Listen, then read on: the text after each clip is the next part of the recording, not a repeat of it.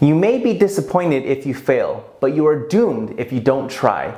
Beverly Sills. No matter what we do, we're going to fail, and that's an absolute fact, and we all know that. And we've been failing ever since we can even remember when we were just a toddler, a little baby, falling on our knees, or we ride our bike for the first time and we get scrapes on our knees. We've been doing it for the longest time.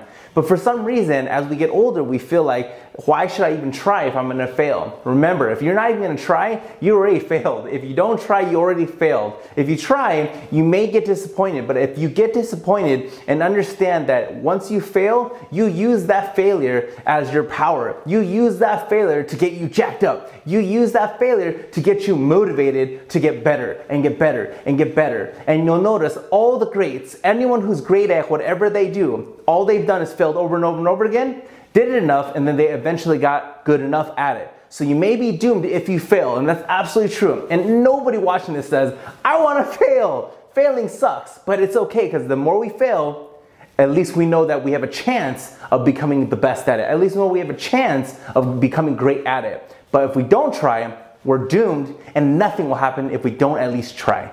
Thank you for watching the video. If you enjoyed what you learned today, don't forget to push like and share the video with everyone you know. If you have any questions for me, ask me on Twitter or Instagram at HsuMJames. New motivational videos every single day go live on my Facebook page, The Official James Hsu. Subscribe to my YouTube channel at HsuMJames for exclusive content that you can only find there, and I'll see everybody tomorrow.